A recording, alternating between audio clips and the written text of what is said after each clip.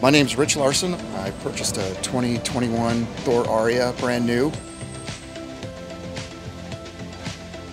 Uh, we pull a 24 foot boat with it, pull a Jeep. I studied the floor plan. It works great for my wife. I love it. I've had no problems.